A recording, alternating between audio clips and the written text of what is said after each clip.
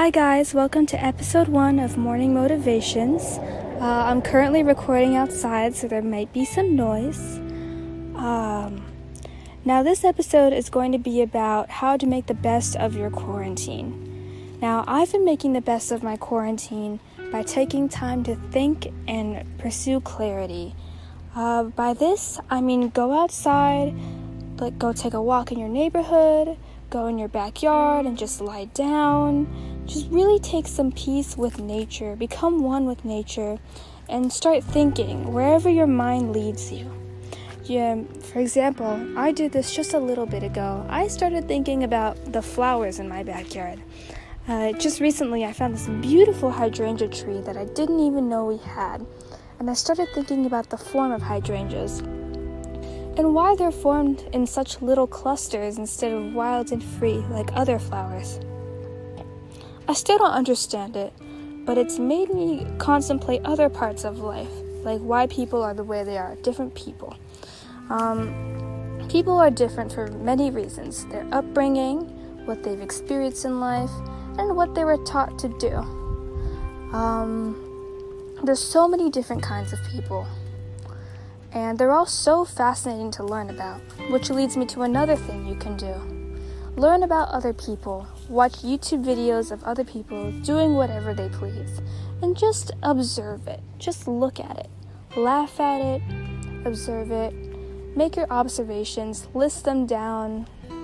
It's quite fun actually.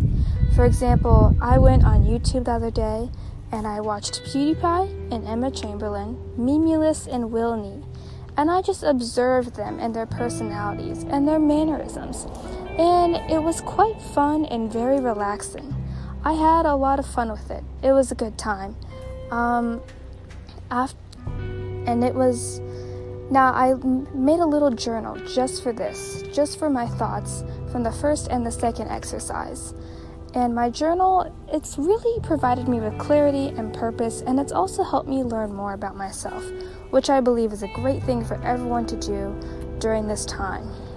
The next thing that I do, and that would be a great idea as well, is to work out, get some fitness, go on a run, go on a walk, do some squats, do some push ups, because those increase your endorphins and your serotonin, which make you happier, scientifically proven. Um, it's very helpful whenever you're feeling down. For example, when you wake up, if you don't want to get out of bed, get out of bed, do some squats, do some sit ups, do some push ups, whichever one of those you feel that you can do. Don't do too many though. You don't want to push yourself early in the morning. Early in the morning is when you adjust to the day. Because at night, you were dreaming about your beautiful dreams, or maybe you weren't dreaming. Which segues me to my next idea. You need to sleep more. That may sound stupid, but trust me, it's an amazing idea. For example, when we were in the school year, I was super sleep deprived. I barely slept, and my dreams were all nightmares. I just didn't feel good. And now I'm using this quarantine to sleep more. And it's helped me a lot. I'm a much happier and way more productive person. For example, I'm doing this podcast. It's really helped me a lot. I've gotten a ton of work done. Um, it's been very helpful. I've been reading more about the medical field because that's the career I would like to choose in life. And I find it very, very helpful and just relaxing because now in my dreams, I started working on lucid dreaming. So now in my dreams, I have this whole alternate dream reality where I have this house.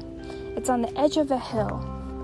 Uh, try and picture this with me. Close your eyes and picture this with me. It's a house on the edge of the hill. It's a, uh, it's a large mansion. It's kind of shaped like the Taj Mahal, you could say. It's white, the most pristine, clean thing you've ever seen. There's a beautiful garden in front of it and a natural archway made from hedges that you walk through or drive through. Depends what you're taking there. Uh, you walk in and it's it's very futuristic. Uh, the first thing you see is the staircase. It's in the middle. It's very, hmm, it's large and it's black.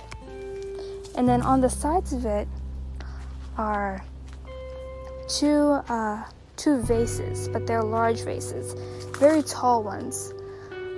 And once you walk up the stairs, there's a room in front of you. And that's sort of a room that's like very soothing. It's like a relaxation room, I guess you could call it.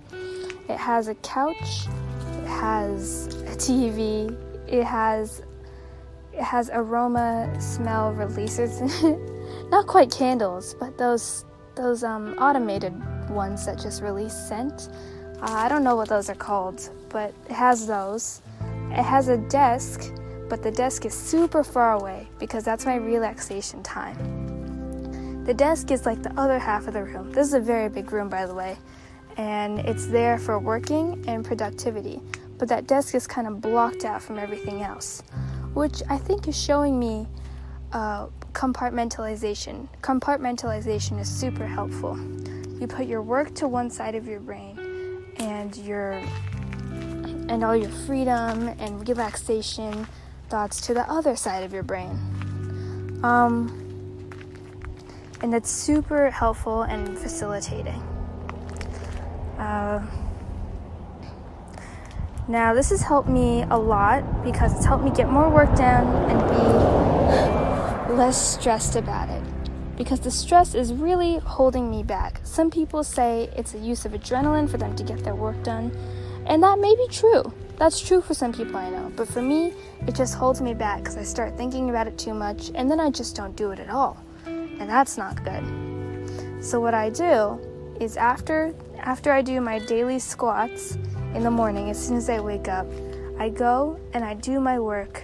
And then after I do my work, I do an actual workout. And then after my actual workout, I just come outside and I think and I breathe and I meditate and it's a peaceful, it's a very peaceful time. I like playing with the flowers and the leaves as well. Helps me become one with nature. It's also helped me get over my fears of nature. For example, I had a fear of birds, and now there's this little birdie that I just that just comes and flies by me every day, and we're homies. we're friends. Now, I may sound crazy, but you can actually be friends with nature. And it's truly, it's a wonderful experience.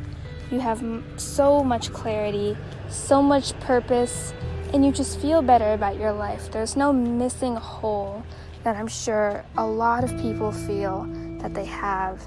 I know that I feel missing sometimes, I feel lost. And doing these things that I just talked about helps me so much, and I hope they can help you as well. Um,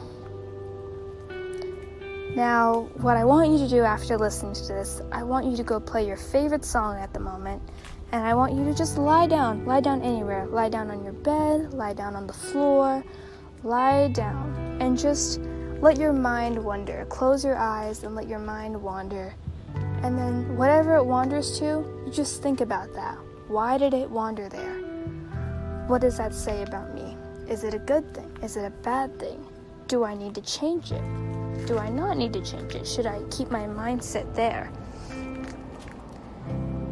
And then write it down in a journal and go take a nap. Thank you. This is the first episode of Morning Motivationals, and I hope you enjoyed it.